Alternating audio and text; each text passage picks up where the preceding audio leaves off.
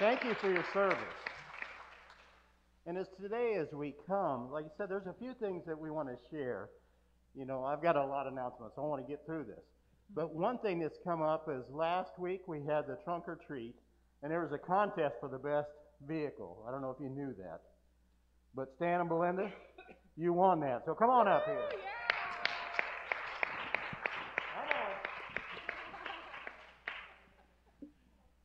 Thank you. And there's a little gift card for you, just for both of you. Thank you very much for that.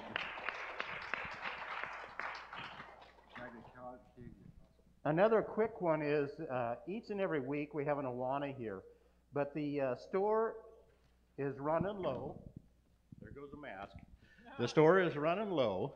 So what I'd like to see, you know, if you can help in that, bring gifts, and we're going to be collecting gifts for the Awana store. So if you can help in that area, bring those gifts and bring them in. One other quick thing is the operation, the shoe box, is coming very soon. And what we'd like to do is show a video again, and we're going to need those boxes back that by next week. So let's go with the video now.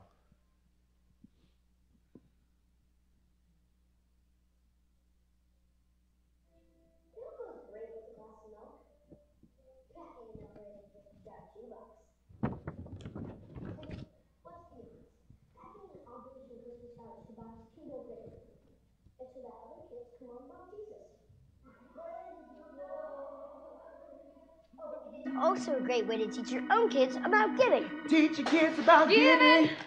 Have a great day. Oh, and don't forget, make good choices. So basically, you get an empty box, which any box will work. Really? Okay, not any box. Much better. Okay, so now you have your empty box. Now you can pick the age range, and if you want it to be for a boy or a girl. Okay, come on, please be a boy. Please be a boy. Well, looks like we're gonna be packing for a boy this year. First, you can choose a wow item such as a soccer ball or a stuffed animal. Hmm. And you can choose other fun toys too. Hygiene items. Oh, and school supplies. There are, of course, some items you cannot pack, like liquids food, items related to war, live animals, and don't even think about packing chocolate because it melts. When your gift is finished, you can write a letter and include a photo.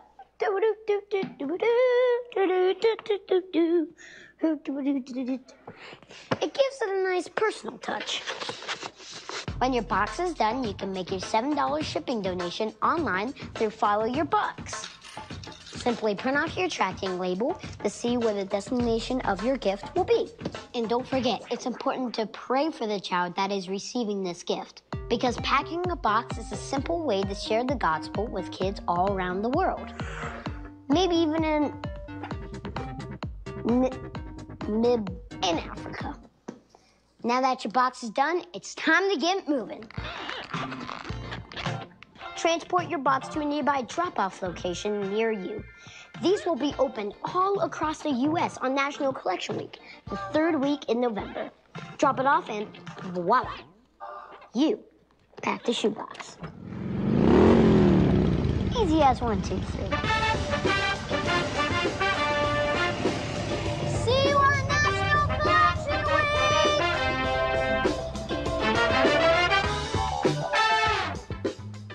Saw last week how those boxes affect people's lives, and we, we had a testimony last week of how it touched somebody from Kyrgyzstan, and they, you know, and that that was a great joy for us to be able to see God's work. So just bring your boxes by next week, and we'll drop them off, and then we'll get those transported out. But one other quick thing I want to say is, Sarah, Brianna, raise your hand. Everybody see seeing right in the middle. On November 21st, they're going to be moving. They're going to need some help. So if you can help in that get a hold of them after the service and let them know. And they're gonna we're gonna put their address in next week's bulletin. That way you know it and what time. And they need our help. So if you can join in that, we need some strong arms. So I know there's a lot of you out there that can do that. So please join in that. One thing too is there is a seniors in your bulletin. You're going to see there's a senior um,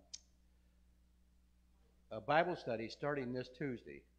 So look in your bulletin. Join that if you're a senior. Some of you are out there, or senior. I'm getting there, but not. Oh yeah, I am. I'm there. My grandkids tell me all the time. But thank you. Let's let's go to the Father now in prayer as we pray for this offering. Father God, what a beautiful day when your people can come together to praise your holy name. And Father God, as we take this offering, Father, we praise you that you have blessed each of us so richly. And as we give back to you, God, let us give with a cheerful heart. Use this to further your kingdom. We praise your holy name. Amen. Great. Hey, um, I would like to uh, let you know that several people will be joining church this uh, join membership today. So if Stan and Belinda Lau could come forward, and then also Tristan and Darcy Kavanaugh, Jody Mosser, and Irene Davies could come join me in the front. Yeah. You go ahead and stand up here. Great.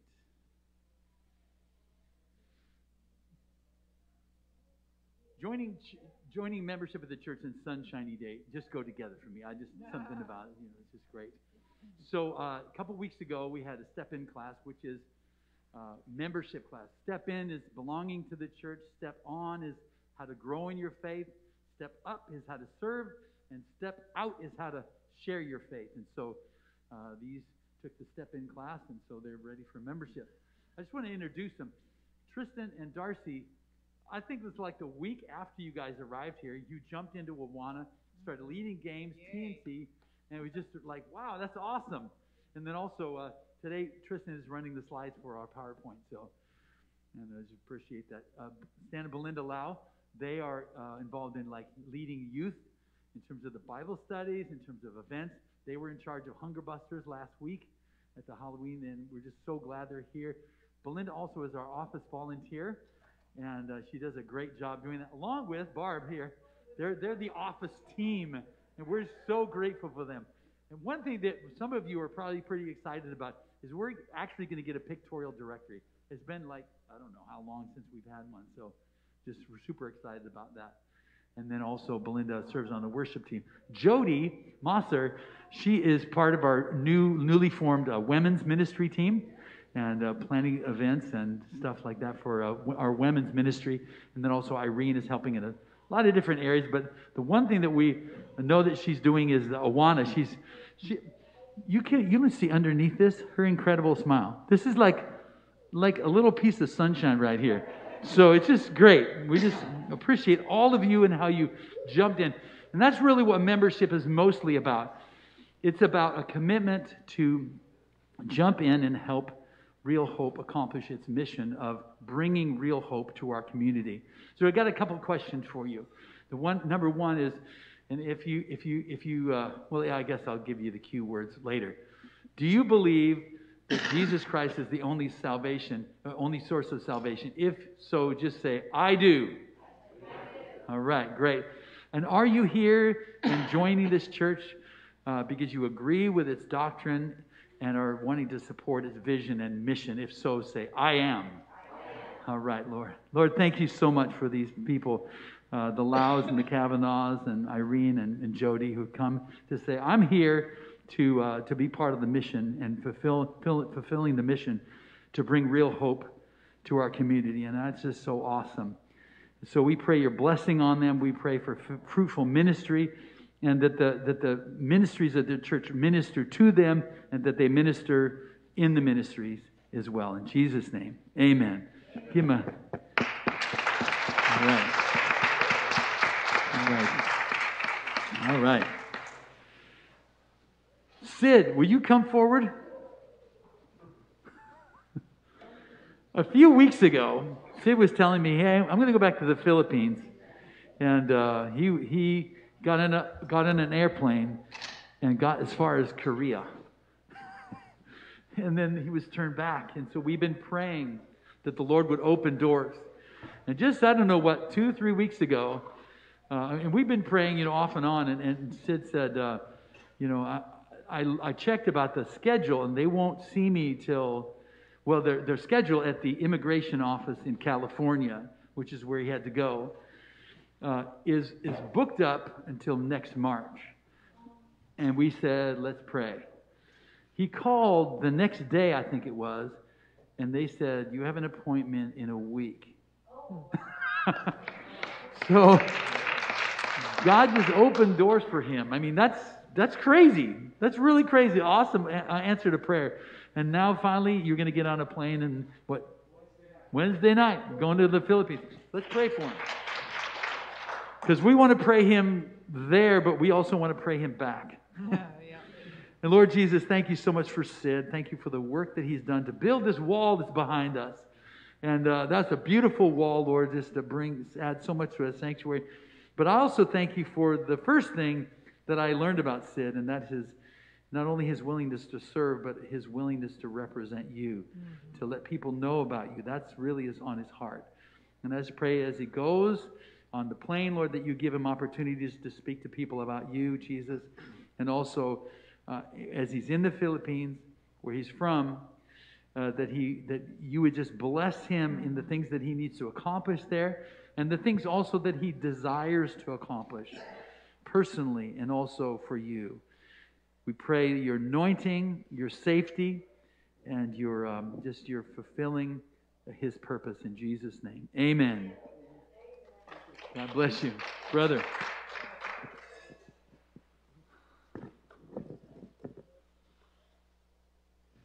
Ah, amen, amen.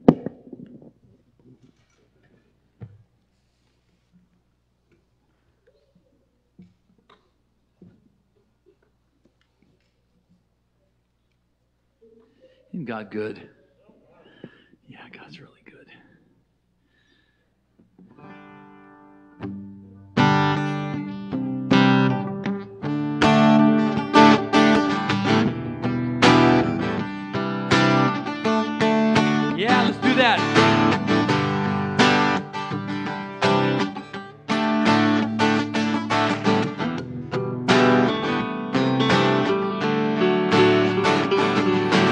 We stand and lift up our hands. For the joy of the Lord is our strength. We bow down and we worship Him now. How great, how awesome is He. Together we sing. Holy is the Lord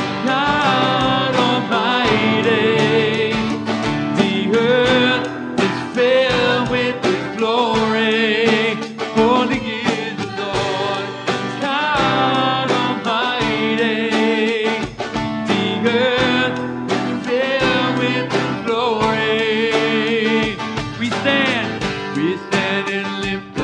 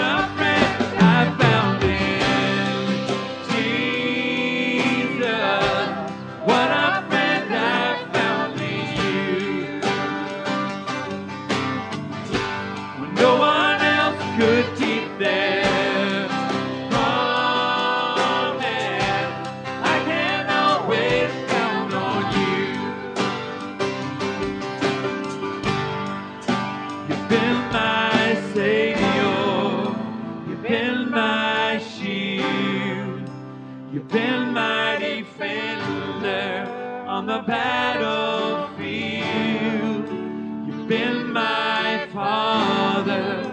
You've been my rock. You've been my portion.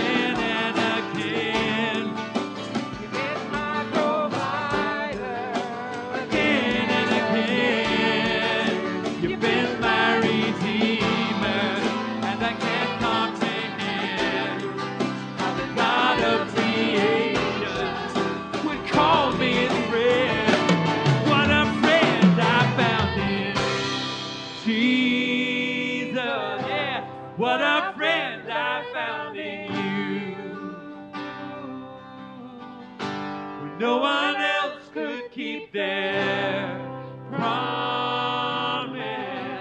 I can always count on you. What a friend I found in Jesus. What a friend I found in you. No one else could keep their promise. I can always count on you. Amen, amen, Lord.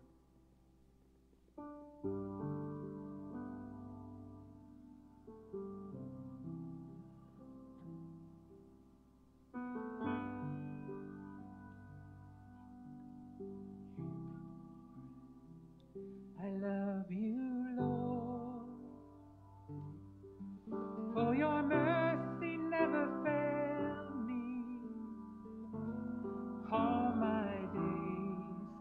I've been held in your hand from the moment that I wake up until I lay my head. Oh, I will sing of the goodness.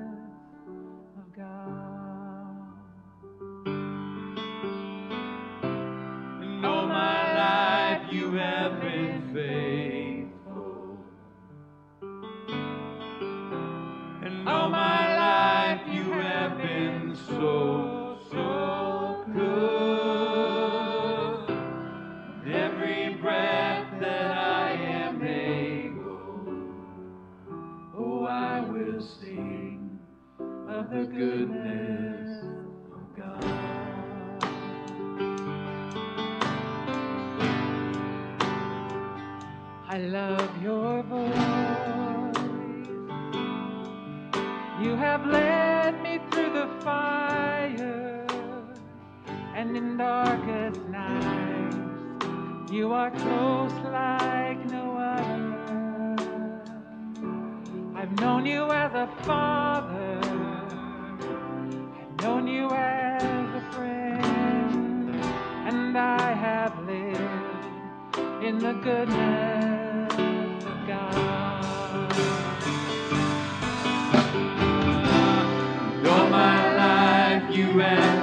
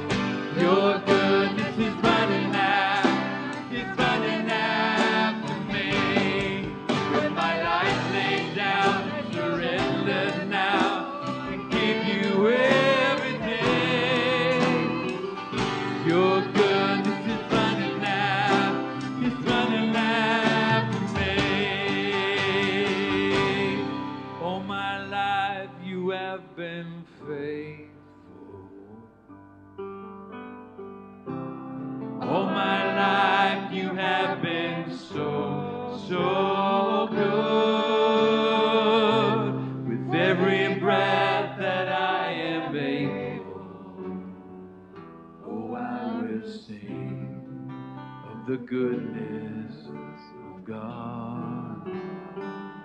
Oh, I will sing of the goodness of God. I will sing of the goodness. of God. It is Good to give thanks to the Lord.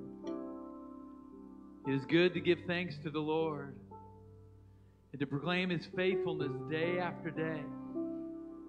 Because the faithfulness of the Lord never, never ends, the goodness of the Lord never ends. How can we ever, how can we ever get to the end of praising the Lord? Because His loving kindness never ends. His goodness never fails. His compassion never fails. And Lord, so for that reason, our praise of you just keeps going on because there's always something new that you're doing. There's always something, some way that you're chasing after us to do us good. You love, Lord, to bless us. You love to do good to us. You love, your compassion is faithful to us. Your forgiveness pursues us in those places that we find ourselves like, oh, how did I get here? Why am I here? The Lord did not lead me here, but I was led here. But Lord, come and find me. His goodness. I want, I want every one of you to sing this in those times where you find yourself needing the forgiveness. I think this is a good song to sing. Let's sing that bridge. Your goodness is running after, is running after me. Yes, Lord. Your goodness is running after, is running after me. With my life laid down, I surrender now. I give you everything. Cause your goodness is running after, it's running after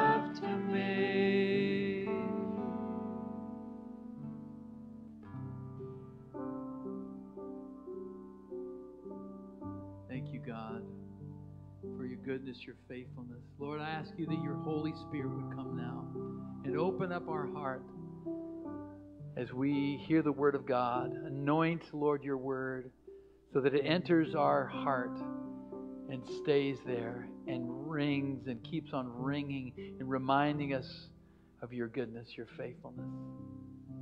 In Jesus' name, amen. Amen. You may be seated.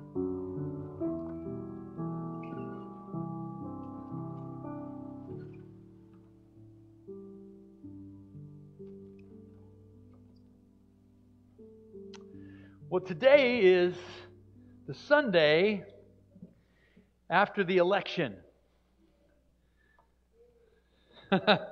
yeah.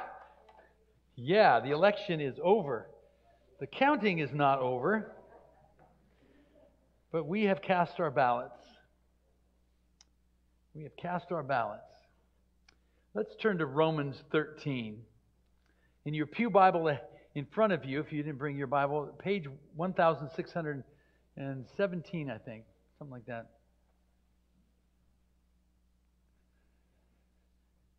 Every four years, we vote for a president. We vote for people who we want to put in government. We have that wonderful privilege. And I encourage everyone here to vote, to vote, to let their voice be heard, to make a decision about uh, who they have an option. We have options in this country who we're going to vote on. But a new president is going to be inaugurated this January, whether that's Biden or whether that is Trump. And either is a possibility at this point. That's not my point, though. But what I want you to think about is in the moments that I have begun this message, I want you to think about how you feel about each of those. When I started to say that we're going to have a presidential uh, inauguration in January, how do you feel about it? Don't, don't, don't raise your hands. Don't, you know, just inside, you just think about that. that. That you were sort of, I think, affected by me even starting to talk about that. You might have been stressed out. You might have been happy. You might have been relieved. You might have been, you know, upset, whatever. But there was, I imagine there was some sort of emotional reaction, some sort of response that you had in with, within yourself. But this president that's going to be inaugurated is going to start making decisions on behalf of 328 plus million people in the United States of America, the great United States of America. He also will hold a certain amount of moral and economic and even spiritual influence over the lives of the people all over the world because of his. Uh,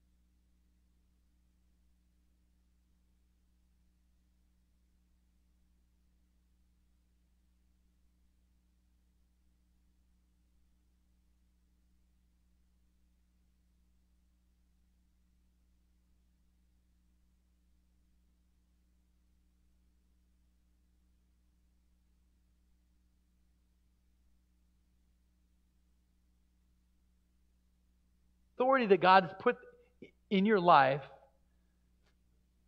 His plan of authority in your life, people go like, "Oh, authority, authority," and we see we see that word as such a nasty word because, quite frankly, it is it's been abused. Authority has been abused. But what is authority? Authority is that agency that is that has the ability and the power to set things in order and um, and the ability to carry out that order and reinforce that order. I'm really rather glad that that there is such a thing as authority. Authority is kind of like friction. I'm not saying authority has to have friction in it. I'm saying authority is like friction. I don't know if you've ever watched the that school bus. Uh, what's it called? Magic School Bus. They they had this they had this episode that showed the universe without friction. I could not sit here, or pardon me, stand here, if there was no and, and, and stand in one place and be stable if there was no friction, because my feet would kind of come out from under. You could not sit in your chair if there were there was no friction. It's a it's a force that grips, you know, two objects together so that they become like stabilized. Well, that's what authority is too. It's a stabilizing force in our universe. Friction and authority very much like because it is a even though it's like sometimes we don't like being under authority, if we really had a if we really had no authority, if we really had no friction in our world, it would be a very different place and not necessarily a good place. Friction is, is actually good, and so is authority. It's people that abuse authority, their authority, that give authority a bad name. But authority is that thing that brings order to our world. Because there's a certain, there's a certain order that, that authority brings, and it's good. I remember the day when, uh, I'm sorry, let me backtrack for a second. But those who are always bucking authority will find themselves working against God's plan to bless them. I remember when I was 17 you know, trying to figure out what it meant to be a man, trying to figure out what it meant to, to be an adult, trying to figure out where I was going to get a job, and all these sort of decisions that sort of get piled on you at 17, 18, 19 years old. And my parents were in the process of trying to let me go. Actually, they were trying to figure out how to keep me back home. You know, it, you know, it's just a normal. I love you, Bobby, and I want to really keep you here. And so they haven't got that, had not got that figured out, and I nor had I uh, gotten um, figured out how to be a man and go forward in my responsibilities. And so that sort of perfect storm there led me to believe that I was being tethered and tugged at and, and held down by my parents. And so I was resisting what they were wanting me to do uh, as I was living in their house. And one day, when I was 17, I thought, wow, I think what's causing the problem here is I'm not really willing to submit to their authority.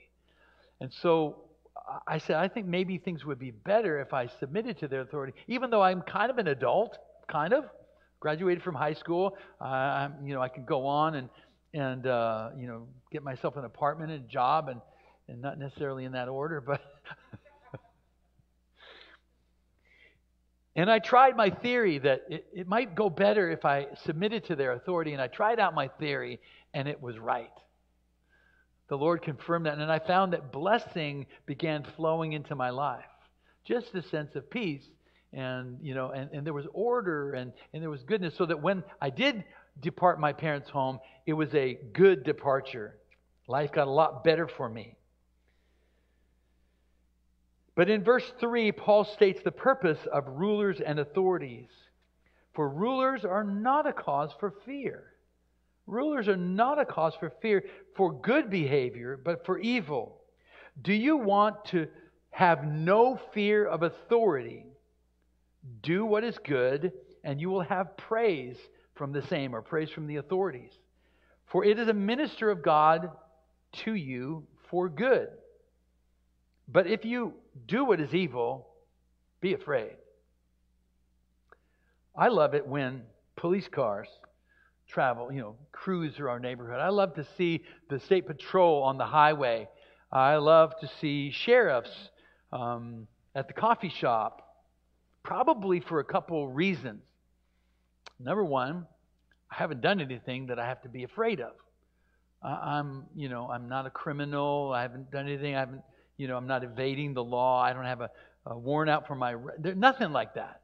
So I don't have to be afraid of of that. And then number two, I know that their purpose and their intent is to do God good. Excuse me. I'm not saying that every police uh, officer is always up to always good. I know that there are some police officers that are kind of not.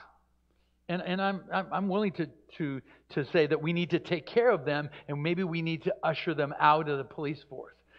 But I believe in my heart of hearts, and it's been my experience over the course of my entire life, I have not met myself, I have not met any police officers that I would say are crooked. So I'm glad to see them. But it's partly because I haven't done anything wrong. And that's what Paul is saying. If, if you don't want to live in fear of the authorities, then obey the laws, cooperate with the police, pay your taxes, do the things that the law has set up to, for you to do, and you won't have to be afraid. I'm not afraid of the IRS. Why? Because I pay my taxes. I pay them diligently because I don't want to mess with those guys. Not that they're bad, but I know that they have authority to come down on me in a way that I don't want to get involved in. But I don't have to worry about that because I pay my taxes. So he continues in verse 5 in chapter 13 of Romans. Therefore, it is necessary to be in subjection. In other words, if you want to enjoy order in your life and not have a fear of policemen or not have a fear of the IRS agent or not have a, a fear of like what your mom or dad are going to say, you, and don't have to worry about that, it's necessary to be in subjection, not only because of wrath, but because also of conscience sake. What does he mean by that? Well, you know when you do something wrong, and you know it's wrong, and you don't get caught. Oh, that's awful. that's awful. You know, as a kid, when you did something wrong and you go like, I don't know when, but I'm gonna get caught. You know, I don't know. Or you're thinking you're gonna get away from it, or get get get get away with it, and then uh, and then and then your dad asks you, "Hey, where were you last?" Blah, you know, just he, he asks you the question or a question that becomes the question, and you go like, "Oh, what do I say? What do I?" And you go like, "How am I going to get out of this?" And you're living in that zone where you're living in fear because you know that you could get found out, and you're you're working hard to not get found out. But you, you know, the, your conscience even tells you that there's someone who is watching you, and it's not anybody mean. It's not anybody that's trying to get you and trying to catch you, that wants you to be in trouble, wants to prove that you're a bad person. God is not like that. But He does know everything, He does see everything in your life. And He's like this Oh, oh, Bob, what are you doing there? That's not the way. Don't do that. Don't go there. No, no, don't do that. I got better stuff for you to be involved. I got better things for you to do. And uh, he's a God of forgiveness and a God of love and a God of goodness. And so he wants to, to bring us to good. But there are some things that we need to do and some things that we need to not do. And in our heart of hearts, because we're created in the image of God, we know that God is a God who we want to be right with. We want to have a right relationship with God. That's what righteousness means. It's to be in right relation. That's all it is. It's not anything religious. It's just like you and me. If we have a relationship, you know, it's good for us to be in a right relationship. And so we have a righteous relationship. Nothing, it's not a religious thing at all. It's just to be, treat each other right, treat each other well, do good things for each other. And that's what God is. He is he wants to bring good into our life, but there are certain things that you just don't do if if you really respect him, if you really love him. Jesus said, "If you love me, keep my commandments." And so so in our heart of hearts because we're created in the image of God, we know that we want to be in right relationship with God. And also, have you ever been accused of something? Now, somebody's like, "You did this and you did this." And you know that you didn't. Don't you love that? I mean, not the part that you're accused. I don't like, nobody likes to be accused. Like, no, I'm not talking about that. I'm talking about the fact that when you think about it, you go like, That's so cool. I know I didn't do this. I know I'm innocent. And if we have this relationship with God, it's like we can appeal to God and go like, God, I, I, you see what's going on. You see how I behave. You know that I'm innocent in this. And it doesn't really alleviate the fact that we've been accused, but it's awesome to know that God knows that we're innocent. And we're living under His authority. That's awesome.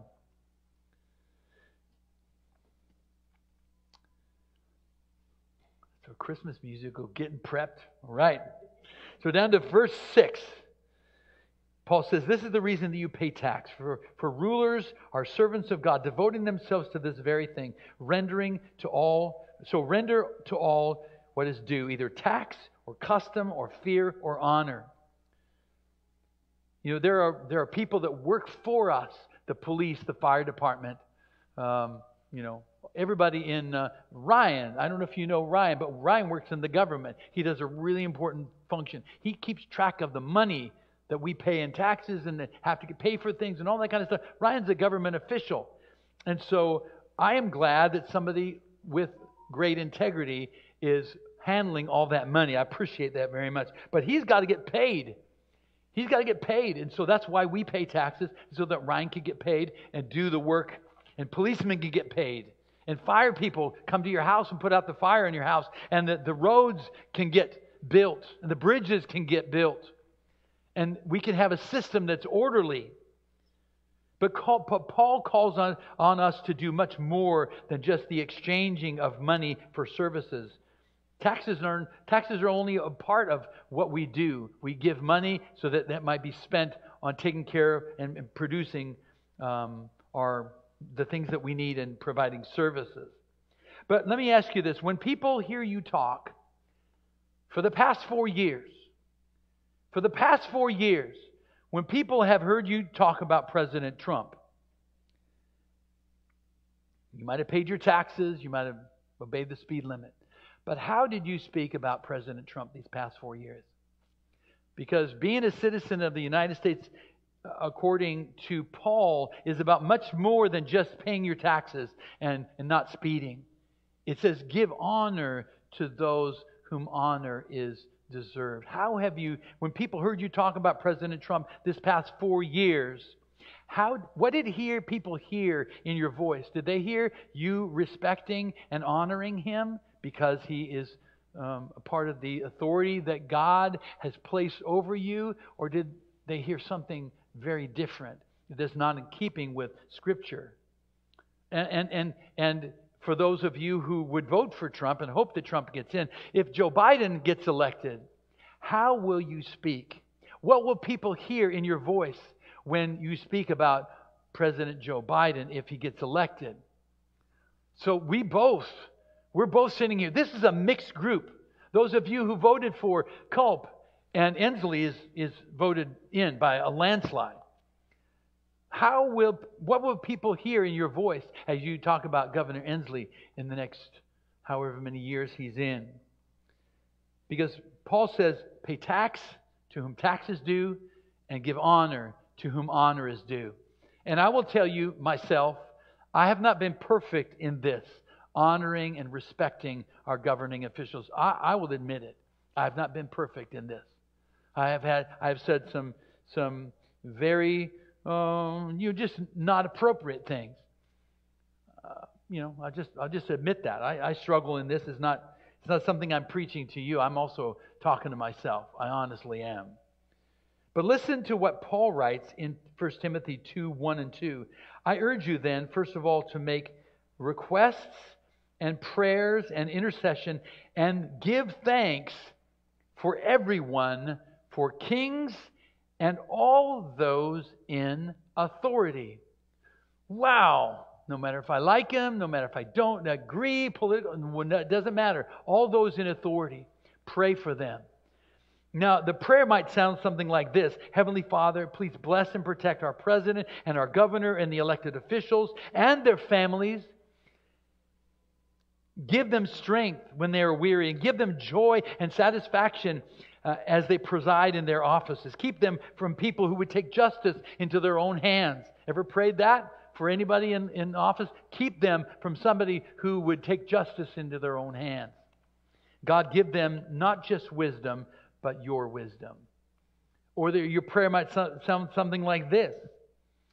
Um, there may be a time that you need to pray this God, show, and you name a particular leader, show him your mercy, Lord, because he's leading um, our country or our state or our whatever in a, in a direction that is totally against your word.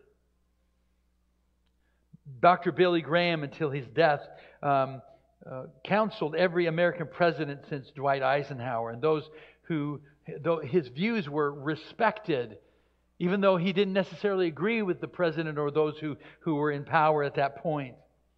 And he and his son met with, his son Franklin met with Obama to talk about Obama's views of abortion and, and gay marriage. In meeting with the President Franklin, Graham expressed that he and his father are conservative Christians who believe the Bible clearly talks to these issues. And he and encouraged him to read the scriptures and um, learn from them and know what God says about them. But Dr. Graham and his son Franklin are committed however, to pray faithfully for, we're, we're faithfully uh, committed to pray for each president, regardless of how they made decisions or the policies they made.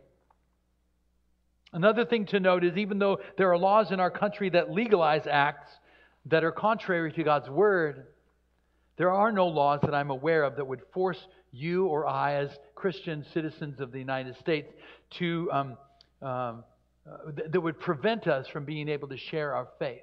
And that's something that I want you to know. We are not, we're not prohibited from sharing our faith. Let me explain what I mean. You know, we hear about the concept of a school, has, a prayer has been taken out of schools. That's not really accurate. It's not really accurate just to say it like that. There are a lot of things that people throw around and they lead you to believe one thing. But let me, let me read something from the legal record. Quote, because of the prohibition of the First Amendment against the enactment of any law, quote, respecting an establishment of religion, which is made applicable to the states by the 14th Amendment, state officials may not co- compose an official state prayer and require that it be recited in the public schools of the state of that state, pardon me, and at the beginning of each school day. In other words, the government cannot intrude in the affairs of schools. They cannot use schools as a place of prayer for to create their own prayer and require that of students. That's a very different thing than prayer being taken out of schools. I want you to know up until the uh, 1977 when I um, graduated from high school in West Seattle. West Seattle, I mean, Seattle is one of the most liberal places in Washington. And yet, I shared Christ freely with fellow students. I bowed my head probably most every day with my sack lunch and prayed. I was able to attend Bible studies at school, on school grounds, before school or after school or during lunch. There was nothing that held us, and no teacher said, Hey, what are you doing that? Why you pray? And I did have some interesting discussions with my science teacher about evolution and creationism.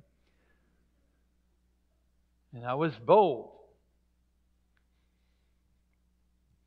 She could not have brought God up, but I can bring God up, and I did. I loved it. you know, I wasn't. I wouldn't say that I was disruptive to class, but um, at all. But I did not hide my views about God and His creation. But I want every high school, junior high, and elementary student to hear me. You are legally, you legally have permission to pray, to pray to Jesus Christ.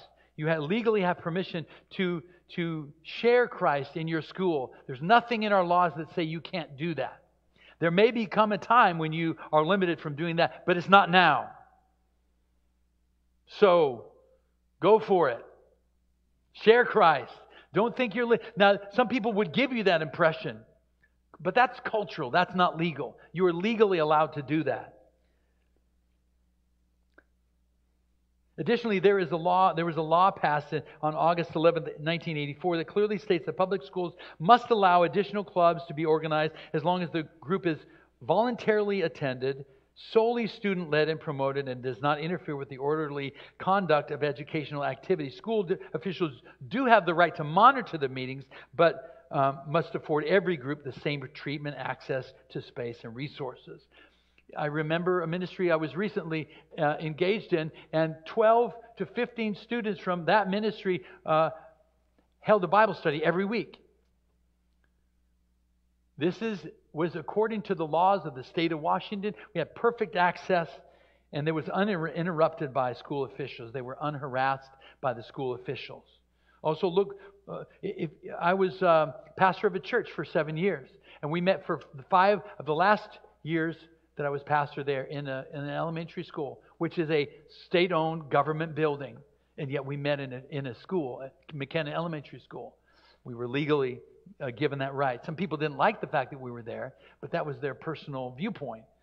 They didn't want to see a church in a school, and they tried to say, "Hey, what are you doing in a school?" And like, "Hey, the law allows it, and you know, you can go ahead and talk to the to the people who lease the building from us." But Paul here is saying submit to the authorities. I think because we have a lot more freedom to do what the Lord wants us to do than we think. Okay? It's not that our culture agrees with us, but the laws are in our favor at this point. But there may be time when we or our grandchildren or our children are ordered by a government to do something that would clearly go against God.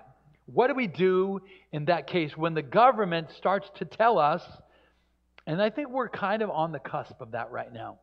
We're very much in the, un, under the cusp of, or in, of, of the government beginning to encroach on almost telling us how to behave as Christians. You can't do that. That is very close. It's, it's really close. So what do we do in those case, in those cases? Is there something in the Bible that would help us that we could look at to say, what do we do in those cases? Do you remember the time when the Pharaoh of, of Egypt commanded the Jewish midwives, when a baby comes out and it's a boy, go to the river and throw it in? Ooh, God would say, no, no, no, no. Do you know when the reason that Daniel ended up in the lion's den is because he broke the law that prohibited him to pray to God? The reason that Shadrach, Meshach, and Abednego were thrown into the fiery furnace is because they refused the king's command to bow down and worship a gold, huge golden idol. The reason that Peter and the apostles were thrown into jail and beaten is because they were breaking the Sanhedrin's authority by preaching the gospel of Jesus Christ in the temple. All these people that I've listed, the midwives, Daniel, Shadrach, Meshach, Abednego, and the apostles, risked their life disobeying the authority of the government, the governing authorities, so that they might obey Christ. Huh. It was not just a willy nilly, like, we don't like that. And we don't like that, so we're not going to do that. No, this was for the sake of the gospel. This wasn't for their convenience. This isn't what something they, they personally desired. This was for Christ, for God, to serve God, to worship only God. And though and, and in those cases, when it's about worshiping God, when it's about obeying God rather than man, that is when you get into this zone where where I, I believe God approves of that kind of I don't want to say rebellion, but just choosing to do what God asked. How, what, what is the answer given by the Apostle Peter? Why God may have protected these people, Daniel in the lion's den. Shadrach, Meshach, Shadrach got thrown into a fiery furnace, and yet they came out. They didn't even smell like smoke. Why is that? And God does not promise that. I, I want you to get that clearly in your mind. Just because you are honoring God doesn't mean that you will be protected. Lots of people are have been um, martyred for, for obeying Christ. But in this case, Peter is before the Sanhedrin, and they're saying, Stop preaching Christ. Stop talking about Jesus Christ. Stop saying that Jesus Christ is the only way to heaven. And Peter says these words in Acts 4:19. whether it is right in the sight of God. There's where Peter's pinning all his authority. Whether it is right in the sight of God to give heed to you rather than God, you be the judge. Man, those are some awesome words of wisdom. Just they just break it down so simply, so quickly, so clearly. It's, Peter's going like, it's not really up to me. You be the judge, but you decide whether we should obey you or God. And the Sanhedrin was like, it's all about like, Mom, we're God people. We're we're God free. We uphold the law of God. And so he Peter just nailed it. If obeying the government's laws means violating God's law, or if a government tries to force you to obey a government in a way that forces you to violate your relationship with God, then you have to believe that you have to choose God over the government. It might be at the price of your life or your job or being able to fee, be, be free or be with your family. And you've seen examples of that before. But those consequences, I want to say, are temporary. They're temporary. Think about the long term benefits of obeying God rather than man. I want you to know that when Pharaoh or Darius the king or Nebuchadnezzar or the Sanhedrin executed judgment on these people, they were in they were within their earthly right. God had put them as king. God had put them as, you know, the rulers, the authorities. They were in within their earthly right to do this. But it doesn't mean that God agreed with their decision. Eventually, they will have to stand before God to give um, account for, um, for their decision. When time is ended, you, Barb, are going to stand and kneel before Christ with President Trump and President Bush and President Clinton, all the presidents. You're going to be right before the Lord with them. Every knee is going to bow before the Lord and give account for their life. And I just want to uh, say that the ultimate thing that that I would encourage you to do is when you are making your decisions about what you do, remember that Christ is the ultimate authority. And if you obey God, obey Christ, you won't go wrong. The Lord is sovereign over us. He realizes that we might be in a situation that won't be comfortable. But what God is looking for from us is were you faithful to me? And I think every one of us, when we appear before the Lord, want the Lord to say, Well done, good and faithful servant of my kingdom.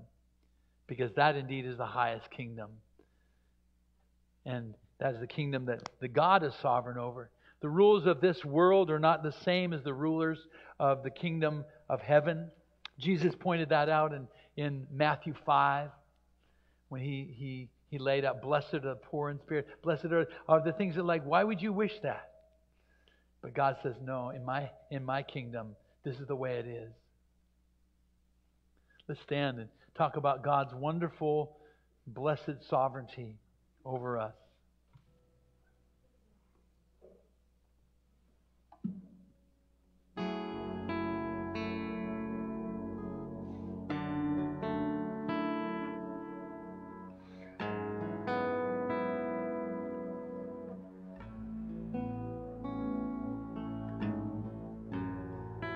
There is strength within the sorrow.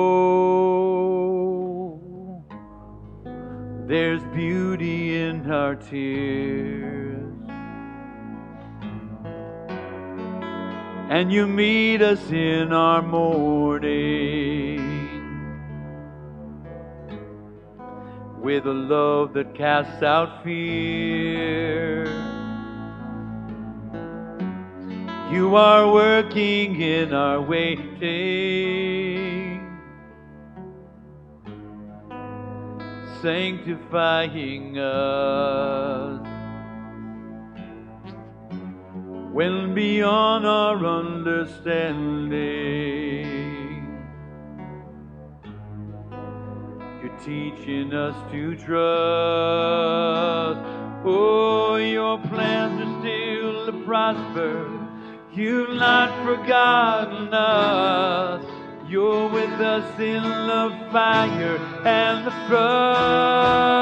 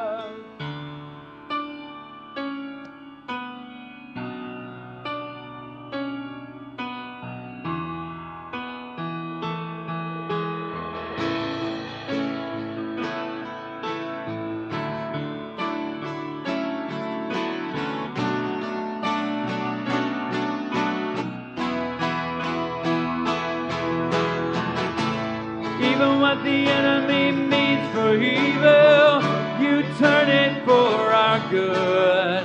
You turn it for our good and for your glory. Even in the valley, you are faithful. You're working for our good. You're working for our good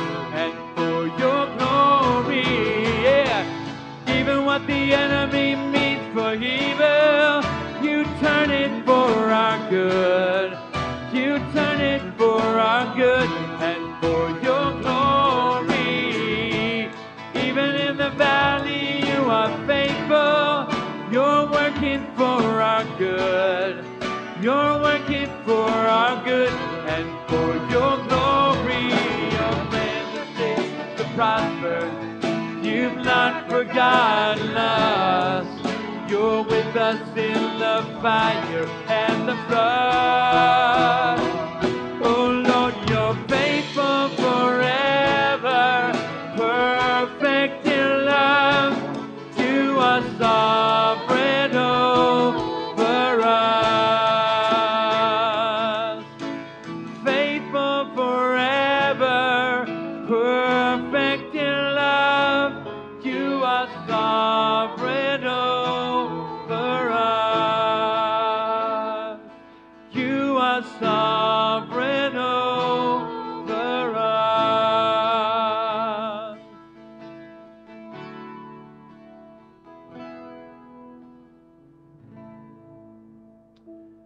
God, we go before you.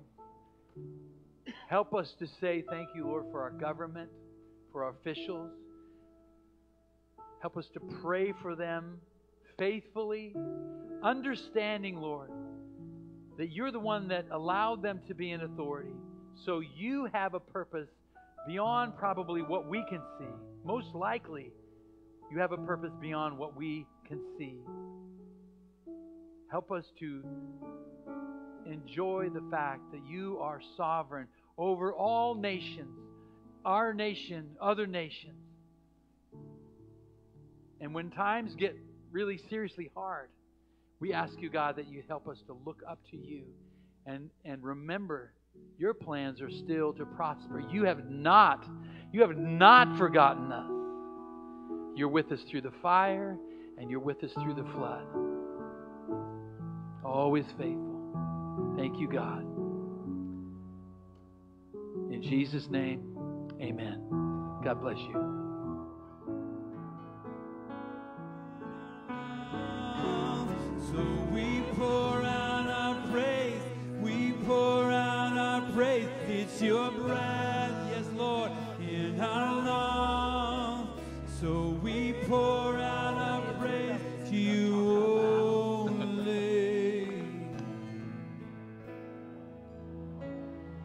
Lord God, we acknowledge that you have given us, You're top on you've list. spoken to us, and given us the words of life, and you've breathed into our lungs the breath of life, and because of that What's we that? live.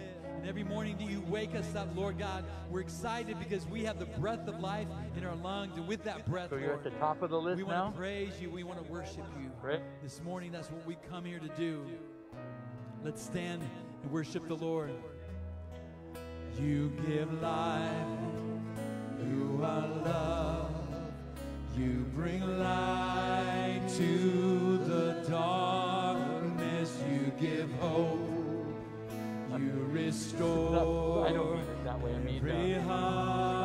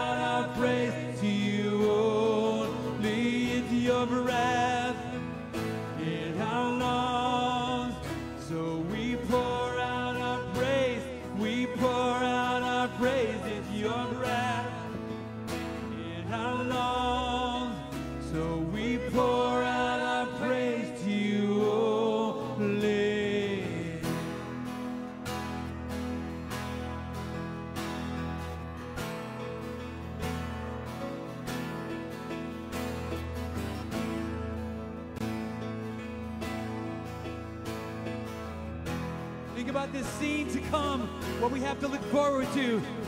All the earth will shout your praise, our hearts will cry, these bones will sing. Great